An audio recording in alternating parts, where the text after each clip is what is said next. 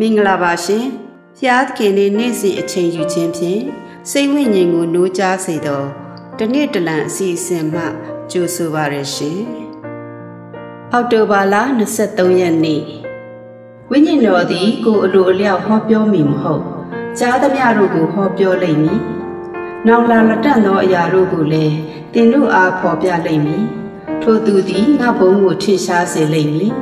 အကြောင်းမူကားငါနှင့်ဆက်ဆိုင်သောအရာကိုယူ၍သင်တို့အားဖော်ပြလိမ့်မည်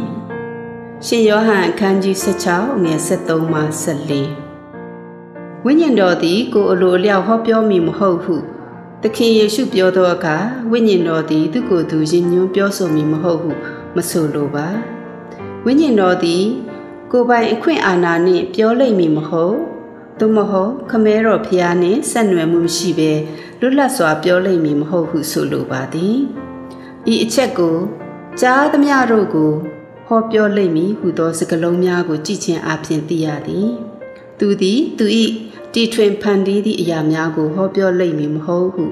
New American Standard Bible ကပြန်ဆိုထားပါသည်သို့သောဤသို့ပြောဆိုရာတွင် တန်ရှင်သောဝိညာဉ်တော်သည် သူ့အကြောင်းကိုတမန်အားဖြင့်မပြောပါဟုကျွန်ုပ်တို့ဖြစ်ဆွက်တင်ပါသည်ဝိညာဉ်တော်၏လုပ်ငန်းများထဲမှထူးခြားသောလက္ခဏာတစ်ခုမှာခရစ်တော်၏ဘုန်းတော်ထင်ရှားစေခြင်းဖြစ်သည်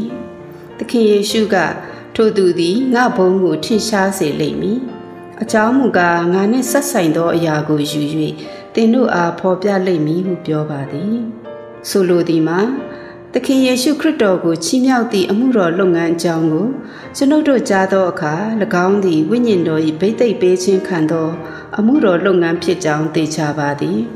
တစ်ဖက်တွင်ဘုရားသခင်ထက်ဟောပြောသူ၏ဘုန်းကိုထင်ရှားစေသောတရားဟောချက်များကို ကျွန်ုပ်တို့ကြားသောအခါတန်ရှင်သောဝိညာဉ်တော်ဝမ်းနည်းနေသည်မှာသိချပါသည်ဝိညာဉ်တော်ကသခင်ယေရှု၏ကြီးမြတ်မှုနှင့်ဟော ပြောသူ၏ကြီးမြတ်မှုတို့ကိုတစ်ချိန်တည်းတွင်တက်တည်မခံနိုင်ပါ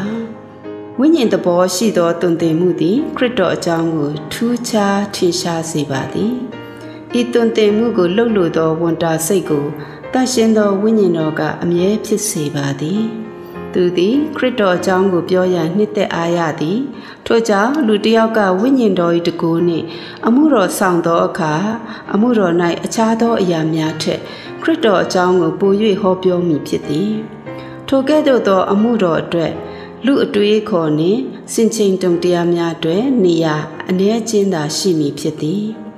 ဝိညာဉ်တော်ဤတခုတည်းသောရည်ရွယ်ချက်မှာခရစ်တော်ကို အစဉ်အမြဲရှေ့တန်းတင်ရန်ဖြစ်သည်ဟုမက်ကင်ဒေါ့ရှ်ကပြောထားပါသည်ဤအကြောင်းနှင့်ဆက်လင်း၍တရားဟောဆရာများကို လူထုနှင့်မိတ်ဆက်ပေးရတွင် လူတို့၏လောကပညာဘွဲ့ဒီဂရီများနှင့်ဓမ္မပညာနှင့်ဆိုင်သောဂုဏ်ထူးများကိုထည့်ပြောကာမိတ်ဆက်ပေးခြင်းအလေးအကျင့်ကိုဧဝံဂေလိအတင်းတော်များက ပြန်လည်သုံးသပ်သင့်ပါသည် လူတယောက်ကိုမိုးပေါ်ထိရောက်အောင်ချီးမြှောက်ပြီးမှတန်ရှင်သောဝိညာဉ်တော်၏တကူနှင့်တရားဟောဖို့ရန်သူကိုမျှော်လင့်ခြင်းသည်မမှန်ကန်ပါခရိယန်စာပေများကိုရေးသားခြင်း၏ကြီးမားသောစုံစမ်းခြင်းတစ်ခုမှာ၎င်းသည်ယေရှုခရစ်၏ဘုန်းတော်ကိုထင်ရှားစေသလားသို့မဟုတ်ရှုံချနေသလားဟု၍ဖြစ်ပါသည်တန်ရှင်သောဝိညာဉ်တော်၏ပုဂ္ဂိုလ်ဖြစ်ခြင်းနှင့်သူ၏အလုတ်အကြောင်းရေးသားထားသောစာအုပ်တအုပ် ကျွန်ုပ်ဖတ်ခဲ့သည်ကိုတတိယမိပါသည်အစပိုင်းတွင်စာရေးသူသည်တန်ရှင်သောဝိညာဉ်တော်၏အကြောင်းထက်ခရစ်တော်၏အကြောင်းကိုရေးသားရာတွင် အချိန်ပို၍အသုံးပြုဟန်ရှိပြီးထူးဆန်းသည်ဟုကျွန်တော်ထင်ခဲ့သည်နောက်မှဝိညာဉ်တော်၏ပုဂ္ဂိုလ်ဖြစ်ခြင်းသူ၏လှုပ်ဆောင်ခြင်းနှင့်ပတ်သက်ပြီးမှန်ကန်သောအမြင်ရှိကြောင်းကျွန်တော်သိလာခဲ့ပါသည်ဂျင်အီလီယတ်ကသူ၏စာဆောင်ထဲတွင်ဤသို့ရေးသားခဲ့သည် လူတို့သည်တန်ရှင်သောဝိညာဉ်တော်နှင့်ပြည့်ဝကြပါကထိုအကြောင်းနှင့်ပတ်သက်သောစာအုပ်များကိုရေးကြမည်မဟုတ်ပါဝိညာဉ်တော်ဖွင့်ပြဆိုမိပုဂ္ဂိုလ်ခရစ်တော်အကြောင်းကို ရေးသားကြမည်ဖျားသခင်၏ရည်ရွယ်ချက်မှာခရစ်တော်ကိုအစဉ်အမြဲရှေ့တန်းတင်ရန်ဖြစ်ပြီးဝိညာဉ်တော်၏ပြေဝဆုံလင်ခြင်းမဟုတ်ပါ